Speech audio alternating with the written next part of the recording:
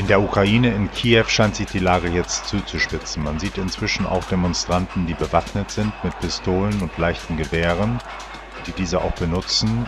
In der Vergangenheit war es ja nur zu Zwischenfällen gekommen mit Knüppeln, äh, Schlägertruppen und viele Molotow-Cocktails. Jetzt, wie gesagt, auch scharfe Waffen.